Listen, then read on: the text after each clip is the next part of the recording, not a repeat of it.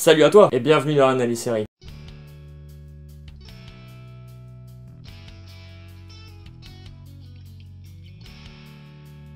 Au cas où t'as vu le dernier analyse série, celui sur Heroes, l'indice laissé en fin de vidéo ne correspondait pas du tout à cette émission là. En fait cette série là j'avais pas prévu de la faire à la base. Je suis rentré du taf, tu vois, je ma femme en train de la regarder, j'ai regardé avec elle, et en fait j'ai décidé de parler de cette série, même si elle n'est pas encore finie parce qu'il y a une saison 2 qui est en cours de tournage, j'ai décidé d'en parler par rapport au message qu'elle véhicule. 13 Reasons Why est un teen drama ado de 13 épisodes sur une seule saison pour le moment, produit par Netflix. La deuxième saison va bientôt arriver, et d'ailleurs, juste à ce niveau-là, ça m'ennuie un petit peu si c'est la suite concrètement de la saison 1. La saison 1 nous parle donc de suicide, le suicide de Hannah Baker. Si la saison 2 nous parle de procès, de justice, tout ça, J'aurais préféré en fait que la saison 2 nous traite d'un autre problème de société, n'importe quel autre problème d'ailleurs, mais un autre problème. Ça aurait pu être intéressant, genre un, American Horror Story pour dénoncer justement. 13 Reasons Why est donc une série préventive contre le suicide et donc ça vaut le coup d'en parler.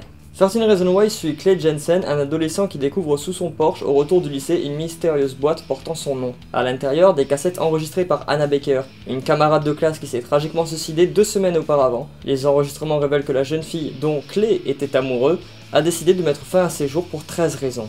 Clay est-il une de ces raisons donc voilà, on va suivre l'histoire avec Clay Jensen qui va découvrir et écouter les cassettes petit à petit, les unes après les autres, et cela va comporter donc les 13 épisodes. Il se peut que tu connaisses l'acteur Clay Jensen, c'est Dylan Minette, si tu as regardé les séries Lost, Prison Break, il a même joué un épisode de Grey's Anatomy. En suivant donc l'histoire de Hannah, les cassettes, on va découvrir qu'elle était quand même dans le pire lycée du monde. Dans ce lycée-là, si la série dure encore 3-4 saisons, ils sont tous en tôle ou morts. En termes d'élèves, t'as donc voyeurs, des homophobes, des chauffards, des types qui cassent des gueules pour un oui, pour un non, des dealers, et d'autres trucs que je dirais pas forcément parce que j'ai pas envie de spoiler à mort. Bref, on a vraiment des trucs assez tordus dans ce lycée, même si les élèves ont tous l'air très lisses, très propres sur eux. Et c'est quand même assez bizarre que Anna essaye de bien s'intégrer avec ces personnes-là.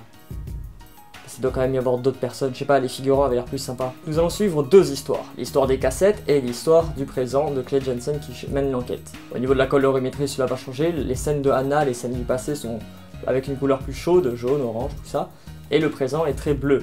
Il y a un autre moyen aussi très simple à différencier le présent et les flashbacks, c'est que Clay Jensen a un pansement sur le front. Aussi de voir Anna vivante, ça marche pas mal. Les réalisateurs vont s'amuser à passer d'une scène à l'autre, ou alors même des fois à mettre les deux personnages ensemble, sauf que ce n'est pas au même moment. Par rapport aux élèves, on va découvrir donc que Anna a eu un problème avec quasiment tous les élèves, quoi. Ou que ce soit des petites rumeurs ou vraiment des trucs bien plus graves. Donc elle va décider de s'enregistrer, de nommer les personnes qui lui ont fait du mal et ensuite d'envoyer les enregistrements à ses élèves qui vont devoir faire circuler tous entre eux pour voir qu'ils sont tous responsables les uns et les autres de la mort de Anna. Vu qu'on a parlé des élèves, tu peux déjà réagir à ce niveau-là. Est-ce que tu penses qu'il y a un seul élève Saint-Esprit hormis Clay Jensen?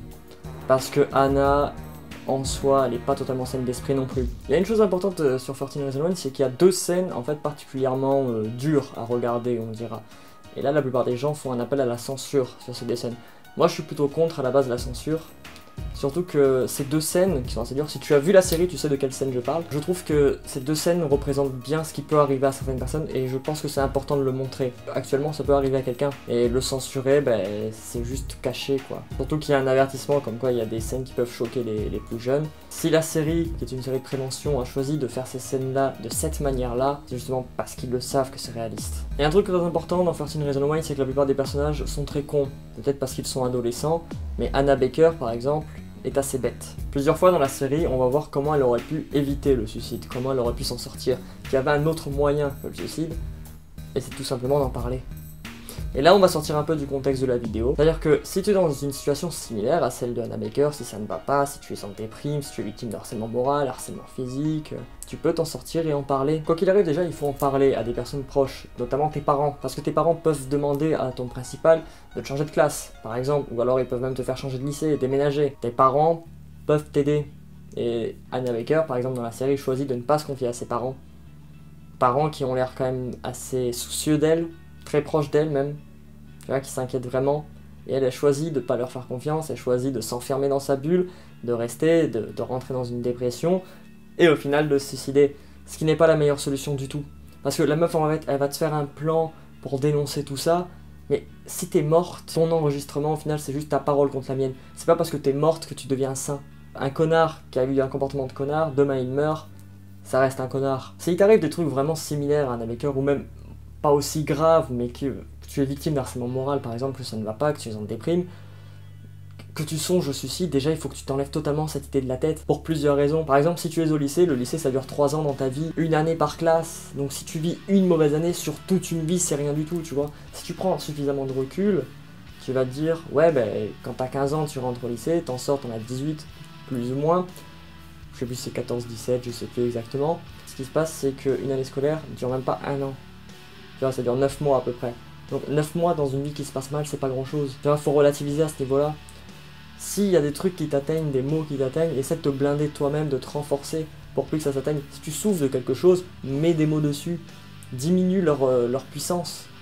Car en fait, en nommant les choses, on les rend bien plus faibles. Et si tu as des problèmes et tu n'en parles pas, là tu les rends plus puissants, là tu les rends plus grands. Il faut savoir ce que sont nos faiblesses, il faut savoir c'est quoi notre problème, il faut savoir pourquoi on n'avance pas, pourquoi certaines choses nous font du mal. Ça c'est très important à savoir. Et ça c'est un travail que tu dois faire sur toi-même. Chaque souffrance que tu auras dans ta vie, il faut savoir mettre des mots dessus pour pouvoir tourner la page et toujours avancer. Quoi qu'il arrive, tu dois continuer à avancer, continuer à te battre. Bien sûr, certaines souffrances vont prendre bien plus de temps à guérir. Tu vas mettre plus de temps à t'en remettre. Mais tu l'as le temps. Et si tu es en dépression, tu vas penser que non. Et tu vas penser de manière égoïste, tu vas te dire que, que tout ce qui t'arrive c'est mérité. Mais la vie ne se joue pas au mérite. La méritocratie, ça n'existe pas. Donc si actuellement tu es dans une sale période, essaie de te relever, essaie de te booster. Dis-toi que tu peux en parler à certaines personnes. Et si ces certaines personnes ne t'écoutent pas, tu peux les jarter de ta vie. C'est pas un problème, hein. Il y en aura d'autres. Les relations amicales, les relations amoureuses, ben en général, c'est un peu comme la vie, c'est éphémère. Tu vas mourir un jour, donc tu es éphémère, mais autant mourir de manière naturelle, tu vois. Autant faire ta vie, autant essayer de donner le mieux que tu peux, autant réaliser tes rêves, autant réaliser tes projets, que de te détruire juste parce que des comptes ont fait chier. Tu leur donnes juste raison, et eux, ils le payeront pas, hein. Par contre, ceux qui vont le payer, c'est ta famille, tes amis, toutes les personnes qui t'apprécient, eux, ils vont souffrir, tu vois. Eux, ils vont se dire pourquoi il m'a pas parlé? Pourquoi il est pas venu vers moi? Pourquoi il m'a pas fait confiance? Et ça va bien les travailler, ça va les suivre. Tu vois, moi je te dis ça, mais je connais quelqu'un qui s'est suicidé. J'avais un pote qui s'est suicidé. C'était il y a un petit moment maintenant, c'était il y a 4 ans. Il en a pas parlé. J'ai ramassé aussi quelqu'un qui a fait une tentative de suicide. Celui-là s'en est sorti, parce qu'il en a parlé après. Tu vois, parce qu'il s'est ouvert. Et maintenant il va bien. Quand tu te suicides, tu ne sais pas ce que tu vas faire endurer aux autres. La souffrance que tu vas détruire en toi, tu vas la transmettre à tous. Le suicide est très égoïste. Et la douleur que tu vas partager, elle va rester très longtemps chez plein de personnes. Dans la vie, on a tous des problèmes, tu vois, on a tous des trucs vraiment pas cool, comme il peut arriver à Anna Baker.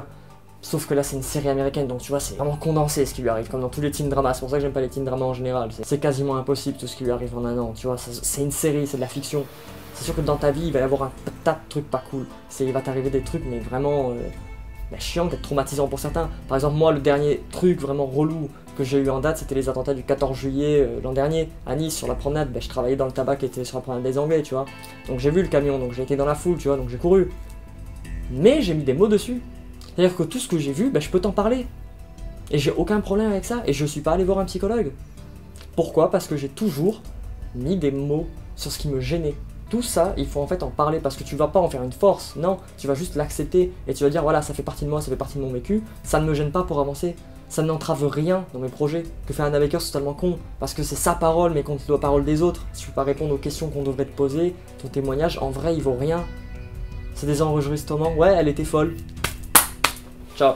Alors que tout ce qu'elle a à faire en fait c'est d'aller témoigner, c'est là où elle est con. Et si je te dis de te continuer à te battre, si je te dis de continuer à avancer, de continuer à avoir des projets, je te dis même pas d'espérer, je te dis de, te bouger le cul en fait pour euh, créer une vie que tu as envie d'avoir, tu vois. C'est si ça va pas, tu attends euh, que quelqu'un vienne te sauver, quelqu'un d'inconnu, un prince, un héros, ce que tu veux, une princesse, hein, pourquoi pas. Tu vas et tu te regardes dans le miroir. Tout à l'heure, je viens de te dire que le dernier truc vraiment pas cool que j'ai vécu, c'était les attentats du 14 juillet 2016 à Nice. Ben, le dernier truc que j'ai vécu qui était vachement cool, ben, c'est mon mariage. En même pas un an d'écart. Alors autant si j'avais pas ce truc de me relever, si j'avais pas ce truc de, mettre des mots sur des souffrances, de de pas vivre avec des fardeaux, autant je me serais pas marié. La vie est composée de moments durs et de moments très heureux. Il faut savoir ce que tu vas accepter le plus, tu vois. Il faut savoir ce que tu vas garder le plus en tête. C'est vraiment à toi de choisir si tu vas garder plus le positif ou le négatif. Ça, c'est un travail sur toi-même que tu dois faire. Bien sûr, je te parle comme si t'étais dans une situation comme Anna Baker. Si jamais t'es dans sa situation à elle, ne fais pas ces conneries. Ne devenez jamais Anna Baker. Ne faites pas la connerie de vous suicider. Battez-vous pour avoir une belle vie. Faites tout pour réussir vos projets. Gardez confiance en vous. Faites pas de conneries. La Terre est un théâtre. Tant que vous respirez, vous avez un rôle à jouer. Dunkel, ça tourne Euh, le, le suicide, c'est mal. Alors fais pas de conneries. Le suicide, c'est éliminer toutes ses chances pour une vie meilleure. Allez jeunes, faites pas les cons. Rien n'est insurmontable, parlez à vos proches. Surtout, ne faites pas de conneries. Le suicide ne résout rien, il ne constitue jamais la solution à un problème. La vie s'améliore toujours si on s'accroche. Sache que là où ta douleur se termine, celle des autres commence. Alors réfléchis avant d'agir et pense à tous ceux qui vivent autour de toi.